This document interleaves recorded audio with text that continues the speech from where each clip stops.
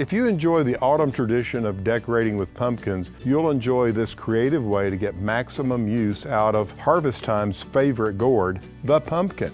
Why not use them as vessels for veggies, herbs, and flowers?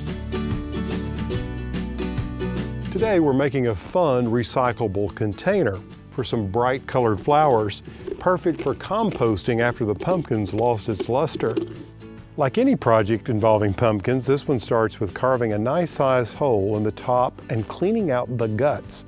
Now you'll want to make the opening wide enough so you have plenty of room to get your plants in. Use whatever kind of pumpkin suits your fancy, and believe me, there's a myriad of them to choose from.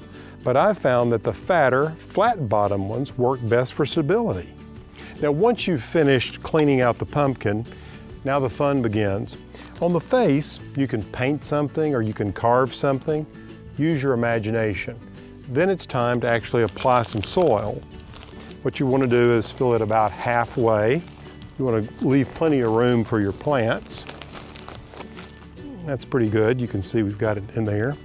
And then it's just a matter of sliding a plant into the pumpkin settling it in nicely like this.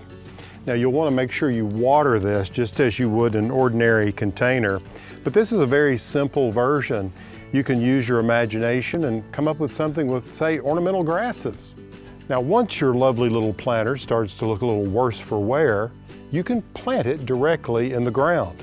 As the pumpkin begins to break down, it will provide your young plants with extra nutrients that they'll be sure to enjoy. I think it's important to note, if you choose a paint for your pumpkin as part of your decor, you shouldn't plant it into the ground lest you leach harmful chemicals into your soil.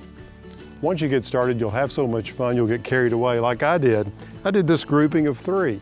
The main thing is just get creative, have some fun, and in the process, you'll be improving your soil and feeding your plants.